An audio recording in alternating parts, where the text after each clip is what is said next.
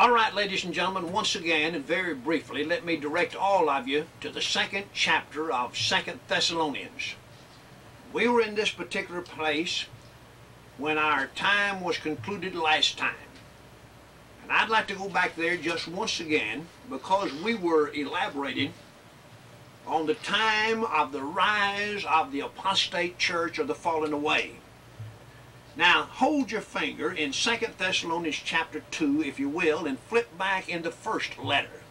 I'm talking about chapter 4 of 1 Thessalonians, and we'll begin reading in verse 13. Now, notice from verse 13 down through verse 18, the Apostle Paul gives a quite detailed discussion of the second coming of Christ and the resurrection. But we would not have you ignorant, brethren, concerning them that fall asleep, that ye sorrow not. But they misunderstood this.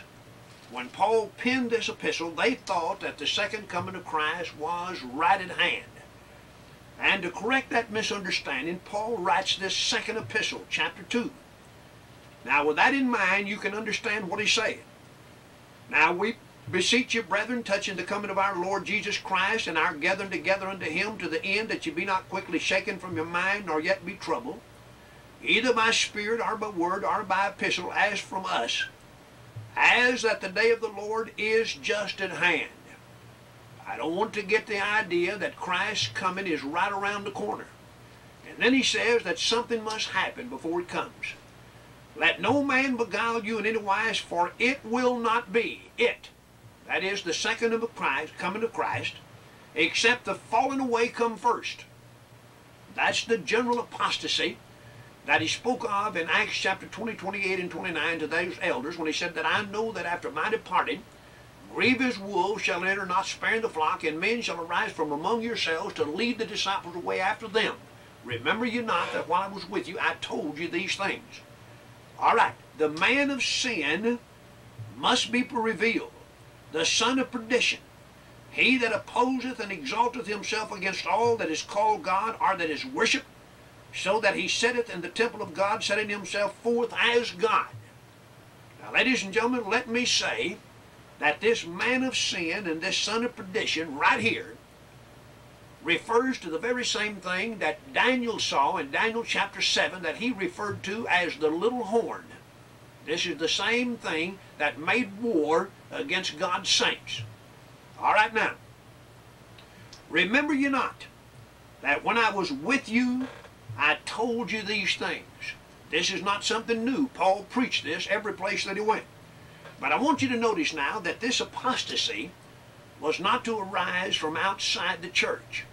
This man of sin was not to be an outsider, but he was to arise within the church. Notice that. See that? He setteth himself forth as God in the temple of God. That's the church of God. That's a corruption within the church. All right, now, verse 6. And now ye know that which restraineth. I pointed out to you last time that this was none other than the Roman Empire. All right, as long as the Roman Empire had full authority in the world, then of course Catholicism could not arise to the end that he may be revealed in his own season. That's talking about the popes, that false religion. For the mystery of lawlessness doth already work. In other words, a little leaven is now working. Only there is one that restraineth now. That's talking about the Roman Empire, the Caesars on the throne, until he be taken out of the way, that is the Roman Empire, and then, now mark that word then, and then, all right, now when were they taken out of the way? 476 AD, Paul says, and then look for the rise of this man of sin. See that? And then shall be revealed the lawless one whom the Lord shall slay with the breath of his mouth and bring to naught by the manifestation of his coming. But I want you to notice, ladies and gentlemen, that there's hundreds and thousands of years involved in verse 8 from the rise of this man of sin until his uh, uh, uh, ultimate and final destruction by Jesus himself. We know will cover more than a thousand, two thousand years because he wants to reign and persecute the church for 1260 years. We've already found that in Revelation 12. Uh, 12. All right, now, in verse 9, even he whose coming is according to the working of Satan with all power and signs and lying wonders, and with all deceit of unrighteousness for them that perish because they receive not the love of the truth, that they might be saved. Now, I'll not do it again because we've already done it. But in the 11th chapter of the book of Revelation, we have a detailed account of the struggle of this Bible during the reign of the Catholic Church. 1260 years, this Bible, known as God's two witnesses. I'm talking about the Old Testament and the New Testament, the olive trees, the oil in them. These candlesticks, permeated by the Holy Spirit, prophesied in sackcloth and ashes for that period, 1260 years. At the end of that time, ladies and gentlemen, they were killed. I read to you in the uh, history of the French Revolution many, many times. We've talked about it. How that the French Convention stamped the Bible, tried to, tried to completely eliminate it. Uh, they made a new calendar in which they eliminated the seven form and came up with a 10-day calendar. They tried to eliminate any name of anything that related to God. They wanted to exterminate his name from the earth. They wanted to eliminate it. And they wanted all calendars, all events to start their date not from Jesus, but from the beginning of the French Revolution. Now these laws and this tomfoolery and this wild conduct of the jungle continued for three and a half day years. That's the three and a half days of Revelation 11, at the end of which, then of course these witnesses stood up on their feet and they began to preach. Now, I've got a little church history book and I'll be referring and giving you the titles of these books, and all of you who are interested need to get them. You need to build your library, brethren, if you brethren, if you really want to be sound in the faith and understand what's going on. But in a way, right here in our country, somewhere around the turn of the century, I'm talking about the 19th century, around 1796, 1800, 1805, somewhere right along there, simultaneously unaware of one another, there were men that were breaking away from denominational churches. They'd begin to read the Bible. They were all reaching the same conclusion, and that is that Catholicism was wrong, denominationalism was sinful, creeds were a violation of God's law, and these men began to break away. Now, James O'Kelly broke away from the Methodist Church. Write his name down if you will. James O'Kelly, Methodist. Number two, Abner Jones. Baptist Church. Came out of the Baptist Church. Number three, Barton W. Stone broke away from the Presbyterian Church. And we'll list many more. But now, let me say, ladies and gentlemen, that the movement got its great impetus, or its greatest power, from the leadership of two men, one of them by the name of Thomas Campbell and the other Alexander Campbell, father and son. Both of them had been members of the Presbyterian Church. But they began to read their Bible and again. They themselves in isolation. The father in this country, his son over in Scotland, had come to the same conclusion that denominationalism was a sin and therefore they were willing to lay aside all creeds and go back directly to the Bible. Now, in the year 1809, mark this down if you will, and I'm going slow for the benefit of you young men that are listening to me that has, have never heard of this, and you young ladies that are not familiar with our history. In the year 1809, there was a little document published written by Thomas Campbell called the Declaration and Address. Now take your pencil and write that down if you will please. Declaration and Address.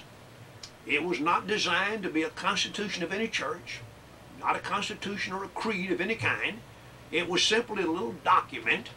I think it covered some 50, 52 pages that outlined their belief about what Thomas Campbell believed about denominationalism in the church.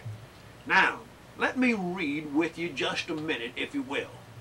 And I said in the very outset that this, this lessons and this material is not designed for amateurs or beginners necessarily that are not interested in truth. Now, I'm not saying that if you're a new convert that you shouldn't listen to this. I'm simply saying for people that are not interested in God's truth. Because we're given some stuff now that'll take time to digest and a little time for all of us to understand. Now, this declaration and address begins like this. From the series of events which have taken place in the churches for many years past, especially in the Western country, as well as from what we know in general of the present state of things in the Christian world, we are persuaded that it's high time for us not only to think, but also to act for ourselves, to see with our own eyes, and to take all of our measures directly and immediately from the divine standard. To this alone we feel ourselves divinely bound to be conformed, and by this alone we must be judged. Now listen to him well. In other words, he is elevating the Bible as the only rule of faith and practice. We are also persuaded that no man can be judged for his brother. So no man can judge for his brother. Every man must be allowed to judge for himself, as every man must bear his own judgment, must give account of himself to God. We are of the opinion that as the divine word is equally binding upon all, so all lie under an equal obligation to be bound by it, and it alone, and not by any human interpretation of it, and that therefore no man has a right to judge his brother, except in so far as he manifestly violates the express letter of the law. That every such judgment is an express violation of the law of God, a daring usurpation of his throne, and a gross intrusion upon the rights and liberties of his subjects, we are therefore of the opinion that we should beware of such things, that we should keep at the utmost distance from everything of this nature, and that knowing the judgment of God against them that commit such things, we should neither do the same ourselves nor take pleasure in them that do them.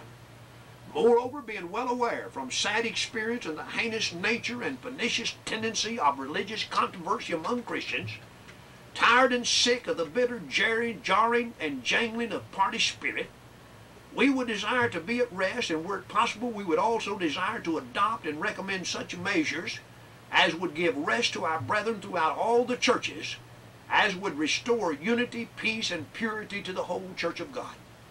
Now, you must understand, ladies and gentlemen, that these men were in denominationalism at the time, and they were sick of party spirits. Understand, if you will. Under, they were sick of creeds. Know what he was talking about. All right, this desirable rest, however, we utterly despair either to find for ourselves or to be able to recommend to our brethren by continuing amid the diversity and rancor of party contentions, the varying uncertainty and clashing of human opinions, and indeed can we reasonably expect to find it anywhere but in Christ and His simple word, which is the same yesterday, today, and forever.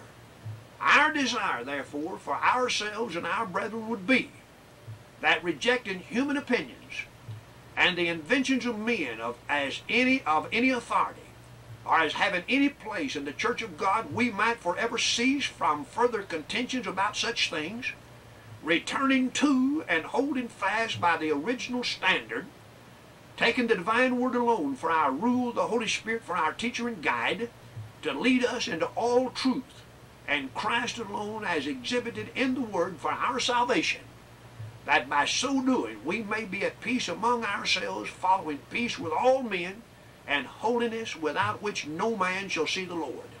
Impressed in these sentiments, we have resolved as follows.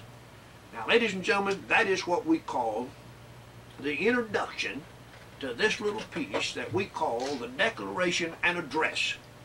Now, I want you to notice once again, if you will, that he made the statement that they were sick of the wrangling and the jabbering and the jarring that was going on in the churches. That it was high time for Christian people to have peace. And he said that the only kind of peace was that peace which was founded upon God's law. Now, my friends, that's exactly what we're pleading for today. And this is the thing that we need. We don't believe that every man can do his thing and every man can express his own opinion if it violates God's law. We don't believe that the God of heaven has given us the right to do anything that we want to do. We believe exactly like these men that the Bible is the only rule of faith and practice. Now, ladies and gentlemen, this is the thing that must be done. Now, let me continue to give you just a little bit more information, if I will, here. Now, the restoration was fully, fully launched. When Thomas Campbell was working out the principles of the Declaration and Address, his son Alexander Campbell was still in Glasgow, Scotland, was becoming dissatisfied with the Seceder Church. The Campbell family had started for America in, sep in September of 1808 but had been shipwrecked off the coast of Scotland and decided to spend a year there so Alexander could study in the university in which his father had been educated. Now, you can see then, I, have read that and I've said this to show you that this was not something that these men came up with conjointly. In other words, their ideas ripened, ladies and gentlemen, independently, one of the other. Now, the first church, the first Christian association, was not planned to be a church in any sense. Thomas Campbell held to the position that for some time, but being convinced that the denominations were not going to unite or give fellowship to any who would not accept their creeds, he became willing to organize the group as a worshiping congregation. And therefore, on October 1810, a congregation applying for admission into the Pittsburgh Synod of the Presbyterian Church was refused. In 1811, the Brush Run Church was organized as an independent congregation. Thomas Campbell was appointed elder and Alexander licensed to preach. The following day, the church met for worship and celebrated the Lord's Supper for the first time. Determined to follow the scriptures, the congregation decided that weekly communion was to be observed since there was an approved precedent for it. All right, now, one member of the new church, Joseph Bryant, refused to partake of the Lord's Supper because he had not been immersed. He also insisted that his baptism followed the New Testament pattern of immersion. In harmony with his desire, Thomas Campbell immersed him. This is the first example of immersion in the work of the Campbells. Here it is. Now, on March the 12th, 1811, Thomas Campbell married Mrs. Martha Brown, daughter of John Brown of Brooke County, West Virginia. She and her parents were members of the Presbyterian Church, and when the first baby Jane was born a year later, the question of infant baptism came up. Alexander read all he could find on the subject, both in English and French, and was amazed at the weakness of the arguments that had been offered in its defense. Consulting the original language of the New Testament, Greek, he became convinced that immersion alone constituted scriptural baptism and that it was valid only for a believer. He discussed his findings with his wife, who shared his conclusion, and it was decided that infants would not be baptized. The fact that he rejected infant baptism forced him to conclude that those who had received it were still unbaptized, and that included himself. They had simply experienced the ceremony in their infancy. He further concluded that he could not continue his own ministry and immerse others, not having been immersed himself as a believer. Now watch these men, ladies and gentlemen, as they're growing, as they're understanding, as they're thinking about the Scriptures.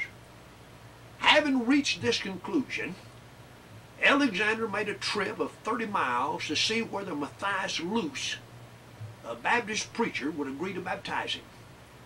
On the way, he stopped by to tell his father of his convictions and found that his sister Dorothea had reached the very same conclusion that he had. Thomas, his father, offered no objection to his proposal. In conference with Mr. Luce, Alexander made it clear that the ceremony would have to be performed precisely in accordance with New Testament pattern. There would be no recitation of a religious experience.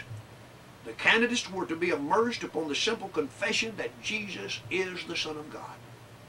Although this was contrary to Baptist custom, Luce agreed to run the risk of censure and perform the rite June the 12th, 1812, in Buffalo Creek. Now, ladies and gentlemen, from the standpoint of the Campbells, this is the way the restoration movement started. Now, as these lessons progress, I want to list a number of good books for you young men and you people that are interested to secure and to put in your library. I'm a firm believer that no church can ever be any stronger than the knowledge of the people who compose it. Now, first of all, allow me to say, ladies and gentlemen, that here is the only rule of faith and practice. This is the very thing that we look to. These men were not inspired. These men were doing the very best they could to restore primitive Christianity because they had the ability, the honesty, and they had the fortitude and the courage to look around and see that what was going on in their midst was not in harmony with God's law, and therefore they were willing to make a change. Now, until we get people with the same kind of integrity and veracity today, men with the wisdom and the understanding of God's law that will look around in the congregations in which they worship and see that they're not doing if they're not. And ladies and gentlemen, allow me to emphasize that we are not. Then, my friends, there's no way that we can ever rejuvenate, renew, or restore primitive Christianity in our lifetime. Now, I'm not saying that we've come up with any new ideas. As a matter of fact, I'm giving credit where credit due. I've showed you what the Bible says. I've showed you that the pioneers are doing the very same thing that I'm advocating. But I'm simply holding up and submitting for your consideration that the churches of Christ, as we know them today, have lapsed and slipped right back into the very same mold. I'm talking about denominationalism from which these men came. And they did it, ladies and gentlemen, for the same reason that denominationalism was started in the very outset, simply because people were willing to place something alongside the Bible or on top of it, and that was human creeds and human traditions. We don't care what the pioneers said.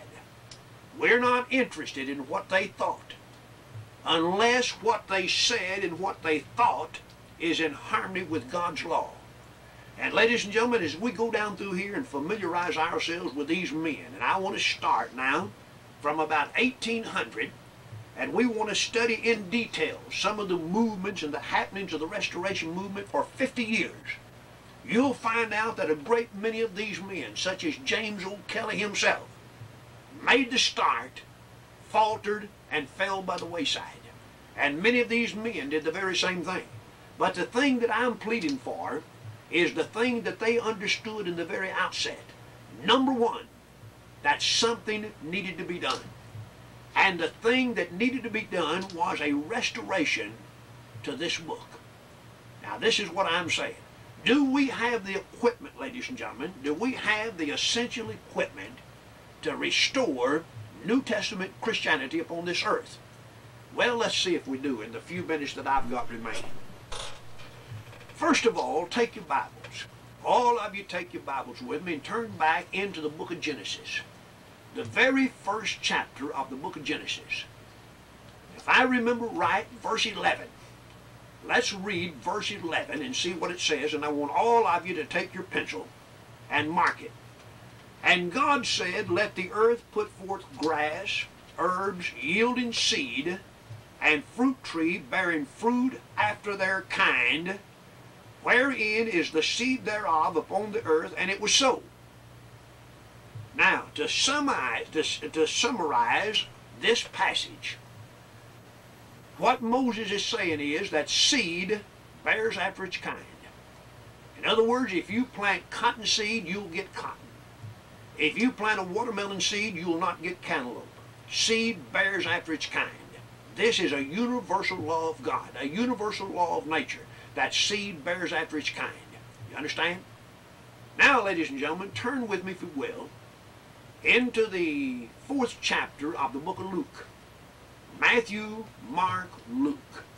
In the fourth chapter of the book of Luke, we have a parable uttered and spoken by Jesus. We've got a similar account of it in the eighth chapter of the book of Luke. And while we're turning there, all of you turn your Bibles to the eighth chapter of Luke as well as the fourth chapter of the book of Mark. But let's begin reading in the fourth chapter of the book of Mark. Now notice what he said. Verse 21. And he said unto them, Is the lamp brought to be put under a bushel, or under the bed, and not to be put on the stand? For there is nothing hid save that it should be manifested, neither was anything made secret, but that it should come to light. If any man hath ears to hear, let him hear. He said unto them, Take heed what ye hear. Now, ladies and gentlemen, this is what I say. Let us take heed what I hear, what we hear. Now then, let's go back into verse 3 of chapter 4. And he taught them, verse 2, many things in parables, and said unto them, Behold, the sower went forth to sow.